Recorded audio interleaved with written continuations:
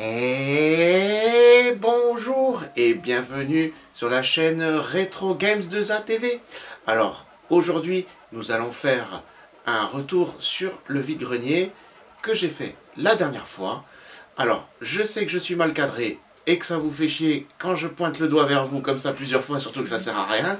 Mais ça m'aide à lancer le générique tout de suite, maintenant, tout de suite.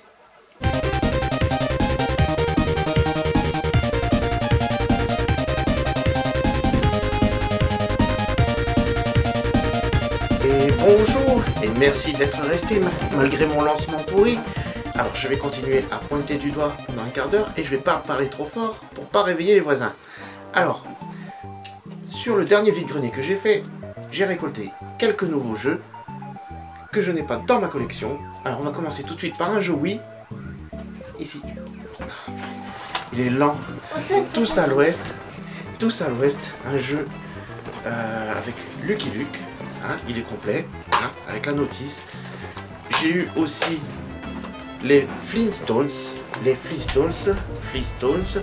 Les pierres à feu. Un complet, pareil, qui marche très bien. Sauf qu'il est en portugais. Voilà, je l'ai acheté à une portugaise, en effet. Ah, alors, ces deux jeux, je les ai eu pour 2 euros pièce, ce qui me fait 4 euros au total. Ensuite, sur un autre stand, j'ai eu ce chargeur de manette Wii. Ensuite, j'ai eu une alimentation pour PS2 Slim. J'ai eu Crash Bash, mais avec la jaquette de devant qui manque. Crash Bash, donc un, jeu avec euh, Crash Bandicoot, avec plein de petits jeux où on peut jouer à deux joueurs. J'ai eu le CD1 de Siphon Filter 2. Voilà. Et sur, sur ce même stand, j'ai trouvé... Euh, alors, c'est pas un jeu, c'est le film de Ken le Survivant. Alors, c'est un nanar, on est bien d'accord, il est très nul, il n'est pas du tout fidèle à la série animée, mais euh, je trouvais que pour la collection, il me le fallait.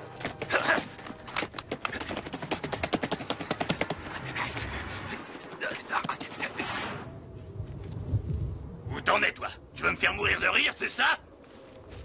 Hé, je te parle, viens ici Tu es déjà mort, c'est inutile.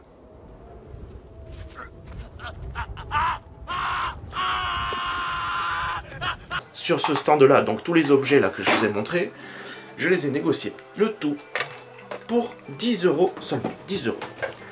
Ensuite, sur un dernier stand, j'ai eu Alexandre euh, Chemist Tycoon.